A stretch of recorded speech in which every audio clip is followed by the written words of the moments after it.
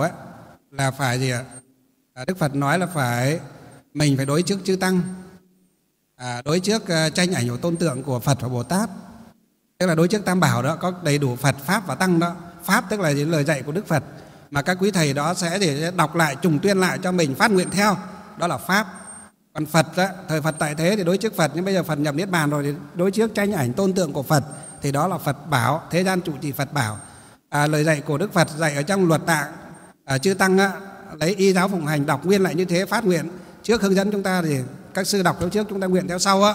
Ăn nguyện đọc theo sau á. Thì đó gọi là pháp là thế gian trụ trì pháp bảo. Còn tăng á, là những vị tăng những vị ni xuất gia.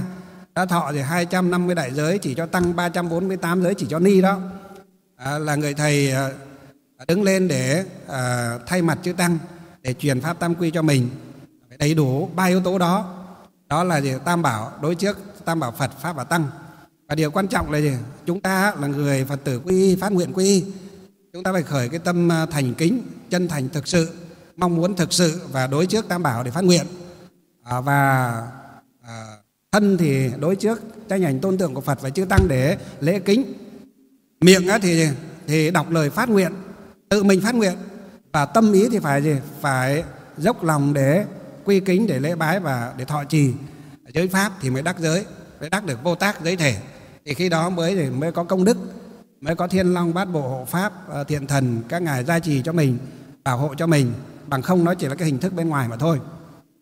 Cho nên ở thời Đức Phật còn tại thế có những trường hợp mà gì ốm đau bệnh tật không thể đến nơi để quy với Phật được thì Phật khai cho là gì? Người khác có thể đến đến để nhận thay. Nhưng với trường hợp là gì ốm đau bệnh tật không thể đi được. Thế còn trường hợp mà khỏe mạnh và vắng mặt đó, thì có thể bỏ đi hôm khác hoặc đợt quy khác đến quy. Trừ trường hợp ốm đau bệnh tật không đi được. À, đặc biệt là cái nhân duyên đặc biệt nhưng không đi được. Thế thì đức phật cho cái phép để cho người khác đến nhận cái cái cái cái quy cái, cái giáo chỉ quy cho. Nhưng khi về thì có cái cầm cái tờ giấy giáo chỉ đó mình gọi là mình gọi bây giờ gọi là điệp quy đó. Gọi tờ điệp quy đó. Và lại bảo cái cái người bệnh đó nếu mà không ngồi được nữa à, chỉ có nằm á thì phải nằm cũng phải à, cung kính chắp tay lên và và nhất tâm tắm rửa lau người sạch sẽ cho bệnh nhân đấy. Và bảo người đó chắp tay nếu không chắp được tay thì phải chỉ phải nhất tâm. Và nghe đọc lại gì ạ? Nghe đọc lại cái điệp tam quy ấy. Đọc lại cho họ ấy ba lần đọc cái điệp đó đọc xong với cái thì bảo đó vị nhất tâm niệm phải có hiểu được không? Người đó thì hoặc là phải à, còn nói được thì phải gì? Phải hiểu và có hiểu được phải a di đà phật. Hoặc là người đó thì phải nhất tâm đọc theo cái lúc đọc cái tờ quy đó thì mới đắc giới. Hoặc nếu không đọc được nữa thì người đó bị ác khẩu bị cấm khẩu chẳng hạn. À, tức là bị hôn mê chẳng hạn. Nhưng mà vẫn còn hiểu được. Thì hỏi nguyện đem công đức này trang nghiêm Phật tịnh độ. Trên đền bốn trọng ân. Giới cứu ba đường khổ. Nếu có ai thấy nghe đều phát tâm bồ đề.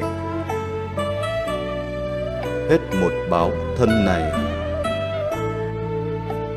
Đồng sinh về cực lạc. Nam mô tây phương cực lạc, thế giới đại tử đại bi, tiếp dẫn đạo sư a di đà phật.